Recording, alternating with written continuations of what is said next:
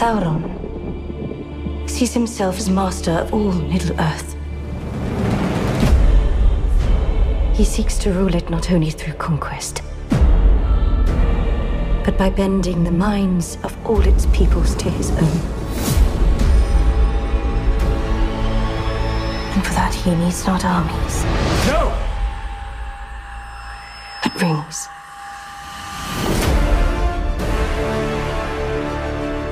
Choosing to wear those rings, you have all become his collaborators. I know you believe this ring is deceiving me, but I believe it is guiding me. All this may be by his design.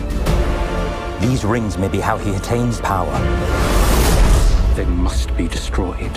We will discuss the rings once you have answered the question. Is this man? He is no man.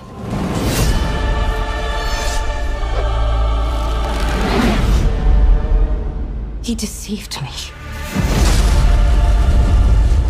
He is Sauron. What am I to call you? a sharer of gifts. Our work begins now.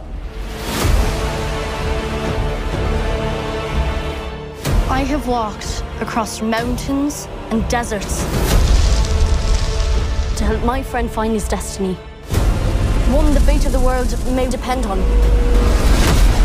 Is it my task to stop the fire? Is it my task to face Sauron? To try and cheat death might lead to an even greater catastrophe. Father, take off the ring.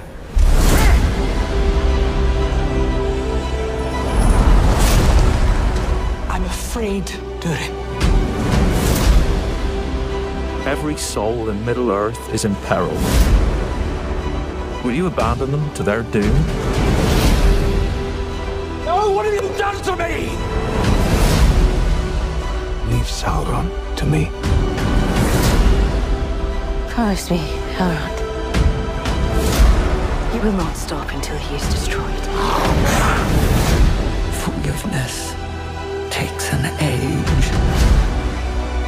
Your axe, old friend. Fight with me. Fight with our friends! When the darkness falls, there are always some who rise forth